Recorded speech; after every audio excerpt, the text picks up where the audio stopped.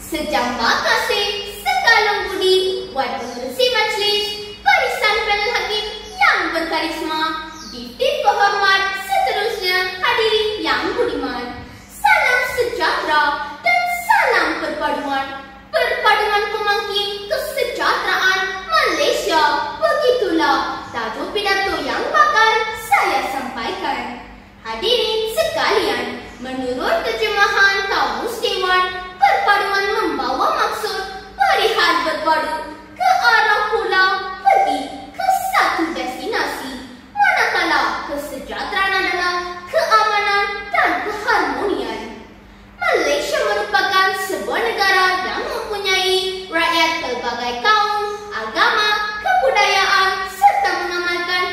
hidup yang berbeza.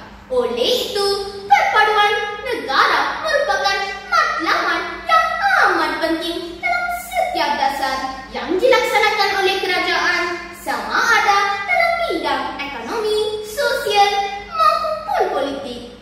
Sidang hadirin yang dihormati. Sudah 64 tahun negara kita mencapai kemerdekaan.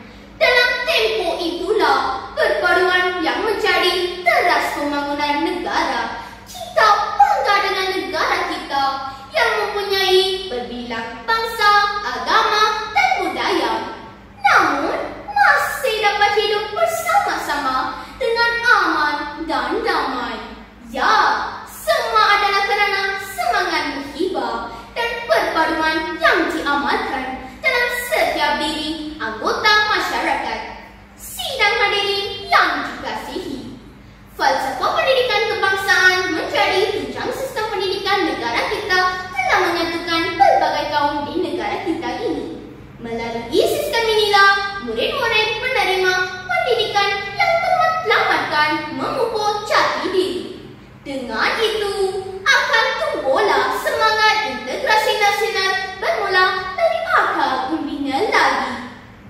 Hadirin yang dimuliakan, pemuda harapan bangsa, pemudi tiang negara, atas rasa tanggungjawab dan kesedaran inilah, maka kerajaan telah mengujakan program khidmat negara. Antara objektifnya ialah menjalinkan bibit-bibit perpaduan dan mengukuhkan permufakatan yang telah sedia ada. Hadirin yang berwawasan, sejarah telah membuktikan bahawa tanpa perpaduan tiada kejayaan kita kecapi.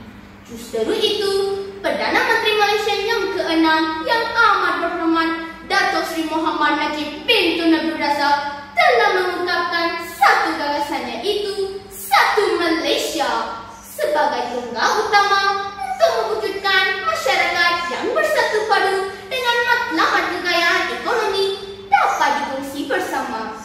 Jelas di sini,